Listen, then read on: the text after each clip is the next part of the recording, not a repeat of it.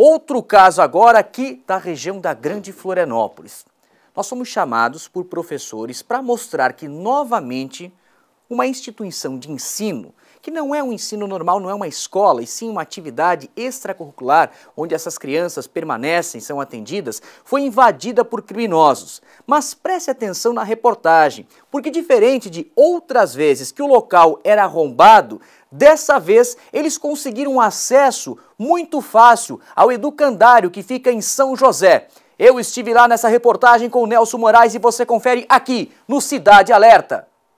O Educandário de Santa Catarina tem 83 anos de história. Sempre funcionou nesse endereço, aqui no bairro Roçado, em São José. Ele é mantido através de convênios que vêm da prefeitura do município. Boa parte desse dinheiro vai diretamente para o pagamento dos funcionários, já que são mais de 80 pessoas que trabalham no local, e também recursos da assistência social. Aqui estudam cerca de 450 crianças. 350 permanecem em período integral. As outras 100 estudam em duas escolas que existem aqui próximo na comunidade. E nesse contraturno participam de outras atividades desenvolvidas aqui pelo Educandário de Santa Catarina. No último fim de semana, um caso que intriga toda a direção e a comunidade que participa com doações empresários da região e colaboradores. Todos querem entender como que dois homens conseguiram ter acesso ao local sem cometer nenhum arrombamento.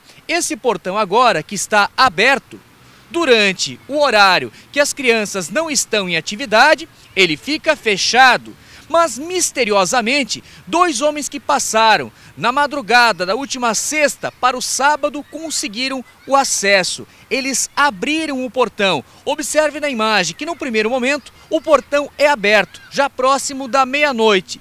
Ninguém entra, mas duas horas depois, os dois homens retornam ao local e aqui dentro eles ficam por um período aproximado de uma hora e meia tempo suficiente para levar diversos produtos. Um prejuízo estimado em 30 mil reais. Renda que compromete todo o orçamento e os eventos anuais que já seguem o calendário justamente para conseguir recursos, para cobrir parte do salário dos funcionários e também a manutenção de todo esse espaço. Foram várias batedeiras, todas elas industriais, umas de 6 litros, outras de 8, e também a bacia da batedeira de 30 litros, que é onde a gente faz a maior parte dos alimentos. Confecciona também é, é, massinha de macarrão para sopa, esse tipo de coisa, os bolos que eles, eles lancham à tarde, as crianças, ah, os pães que eles comem de manhã, isso tudo é feito aqui. Então, sem esse material, a gente não tem como fazer as, as refeições para eles. E conseguir recuperar esses 30 mil reais, esse prejuízo todo agora em quatro meses para fechar o ano? Nossa, bem difícil.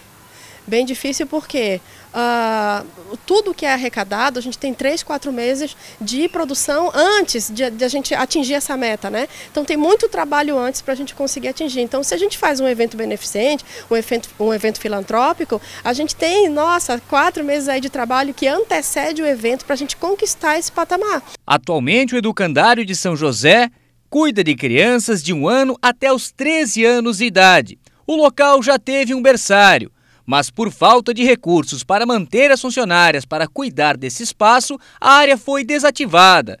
Atualmente é ajuda de comerciantes da região, de colaboradores e os recursos que vêm da prefeitura que mantêm o local. Leite líquido, a gente consome aqui, as crianças consomem 1.600 litros de leite por mês. Então esse é um, grande custo que, a, que a entidade uh, tem, tem, né? Então se a comunidade puder ajudar, a gente cobre os outros custos é, é, de manutenção, esse tipo de coisa, e a comunidade pode ajudar doando alimentos.